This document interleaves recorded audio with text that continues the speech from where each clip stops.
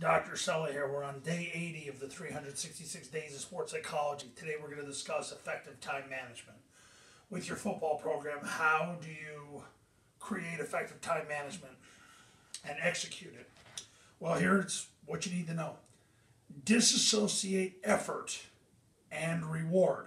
There's a huge difference between effort and reward. I see all over Twitter, all football coaches are doing is they're constantly putting up quotes and examples of effort. Okay, fine, but here's what matters disassociate the difference between effort and reward and know that more can be achieved by working less. Now, this is a hard concept for a lot of football coaches to handle because most of you are neurotic and think, well, if I'm going to get beat, I'm going to get beat working hard.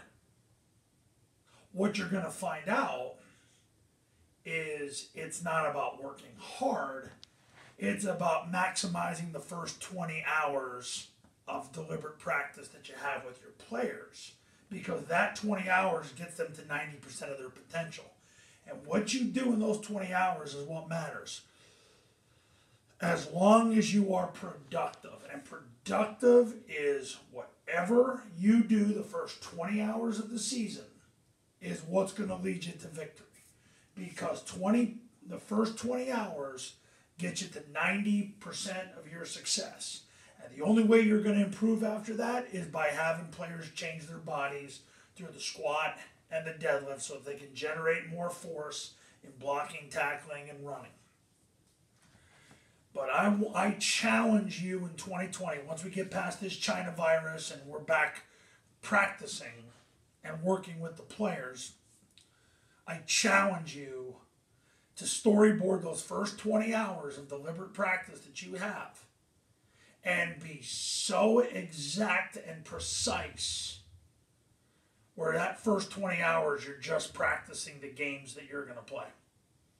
Stop doing stupid drills. Kill the indie drills, kill the conditioning drills, run plays for 20 hours. Offense, defense, special teams, and work the situations. That is effective time management. And coaches, if you want to create the elite performance environment and be better than everybody eh, from a coaching standpoint and get the most out of your players regardless of the DNA pool that God gave you, call me at 570-332-0265, 570-332-0265 with the Sports Psychology for Football Academy. You're going to empower your people with elite strategies designed to create elite performance. So give me a call. I'll see you tomorrow for day 81. We will talk then.